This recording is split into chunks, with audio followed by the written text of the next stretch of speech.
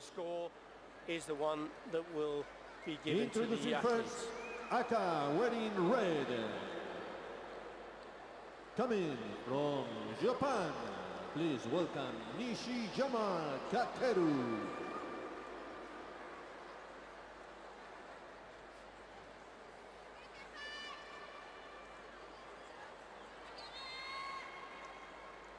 So from Japan, 27-year-old calling now Nishiyama Kakeru.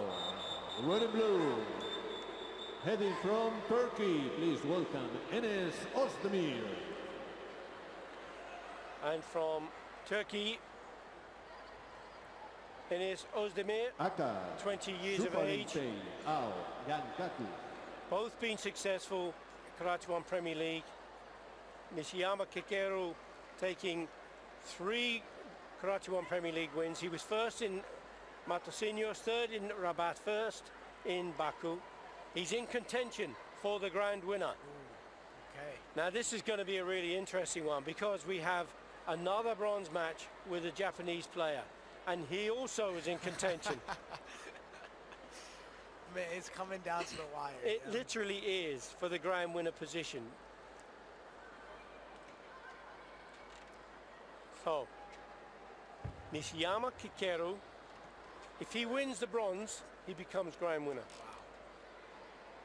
If he loses the bronze, he has to hope that his teammate loses as well. It's it's crazy because there's out of the four bronze medal contenders, three of them are from Japan, right? Yep. So there you go. And two of them are going for grand winner. It, When you talk about strength in depth. Yeah, exactly. This is a great matchup, though. We have Suparinpei coming back out again, looking for endurance. Yeah, the long kata. Long kata.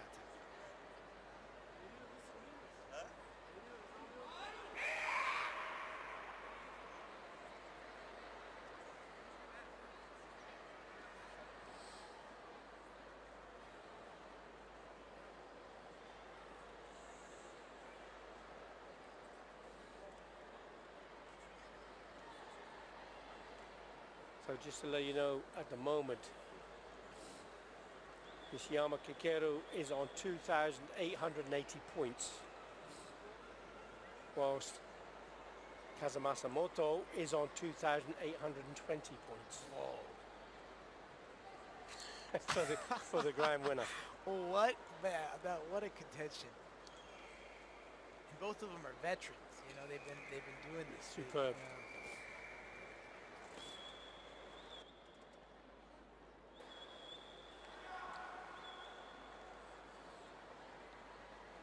So far, very strong content.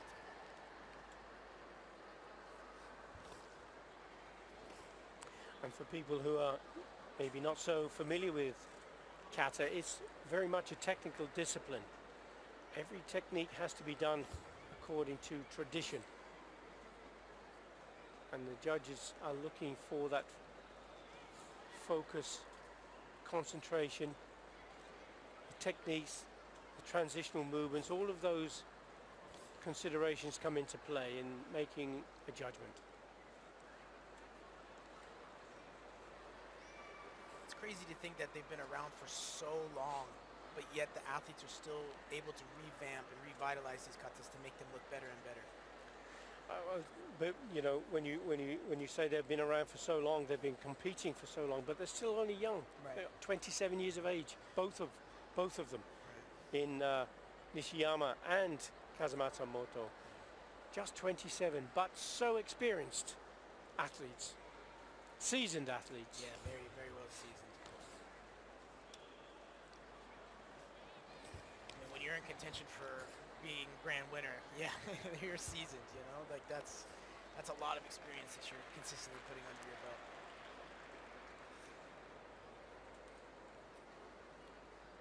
Of course, it's the honour of winning, but there's also the prize. Yeah. I mean, yeah.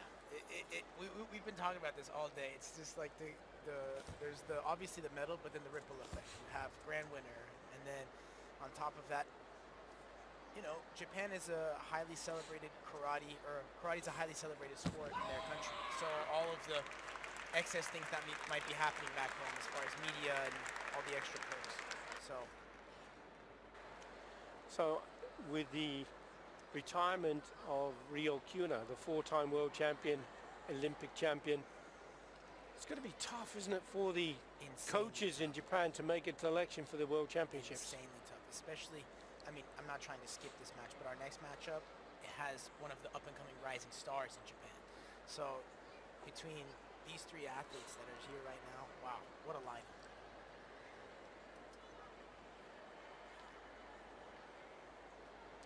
And you, Nishiyama Kakeru has got to uh, overcome the challenge from Ozdemir of Turkey. And they have such ring presence. I don't know if it's able to be captured through the screen, but wow, like he he owns that tatami when he's out Hmm. there.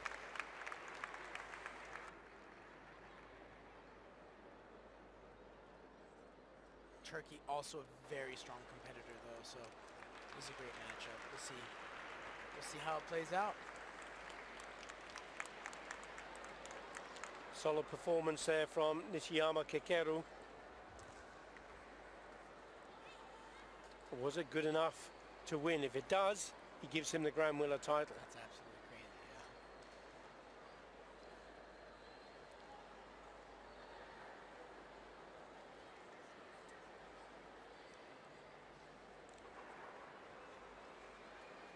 Ooh, Gankaku coming out with Tur- Turkey coming out with the kata Gankaku. We're talking about balancer. Yeah, exactly, This is exactly. it right here. This is a make or break kind of kata. There's always a great deal of risk in this. Uh, watch out for the four key areas of balance where the athlete has to stand on one foot for quite some time. And there's one in particular where he has to spin really fast and stop absolutely dead still. And it's Ozdemir, Turkey, just 20 years of age. A world sil- uh, bronze medalist. He's a gold medalist as a cadet. How explosive is he? Wow.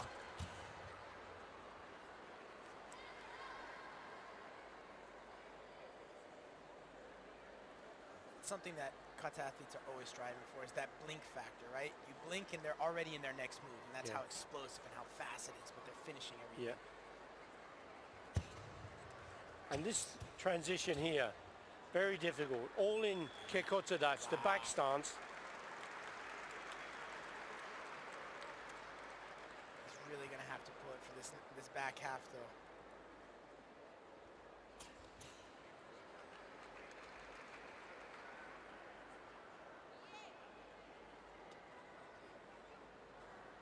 is the first of those four balance points.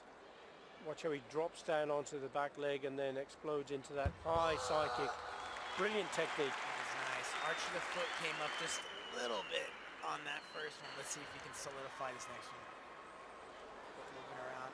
Little little bit of imbalance. That's why this this is a go big or go home kind of kata. And the line of the stance is not quite Yeah, right. yeah, yeah. I think the camera in captures that. Kibadachi. Yeah. And the lines on the mats, you can see those and use them as a grid, reference point. Oh, this is a difficult one now. It's fast turn in a moment and stop. Okay.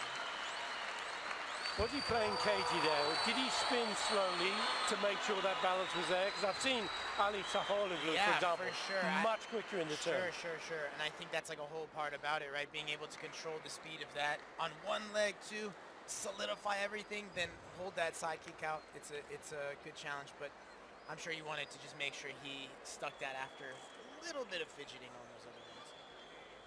Still such a solid kata. And your your view, your decision here, You know, if if those if we weren't sitting here talking about that foot moving or fidgeting, I would say it's you know it might go blue, but but Japan was just so solid. I can't. What am I gonna say? Japan was just so solid. There was minimal to almost no mistakes.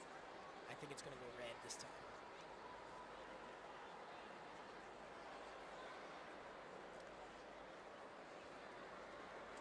So Nishiyama Kakeru wondering, am I going to be crowned grand winner? Or do I have to wait to see the outcome of Moto Kazumasa? Boom. Huh? And wow, Yes. double title. Double Wow. title. 40, look, 44-1 against 43-3. All right. Yeah, those those Nishiyama minor hitches I think from just did it today, but Congratulations to him. huge congratulations to Nishiyama. What a huge, huge victory. Are we allowed to say double champ, or is that only reserved for gold? Well, no, because he's a bronze medalist. Right. So I was thinking champ, champ, right? Like, and has that has the grand winner status now. That is massive. So. Oh. But really important to him. right, huge.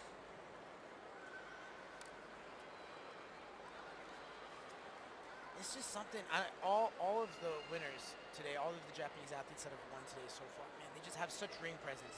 You can see it within, like they they just grow. They become two or three times bigger when they're on the tatami, just going through their movement. Everything is in control. And I mean, I might sound a little crazy for talking about this, but whenever we're even teaching kata on the most basic levels, you're always trying to be in control of the moves. You never want the moves to be ahead of what you're able to able to do. And sometimes a lot of kata athletes will lose their sense of being, the moves would just Mhm. start flowing instead of them being an ownership of every single one. And that is not the case with these athletes.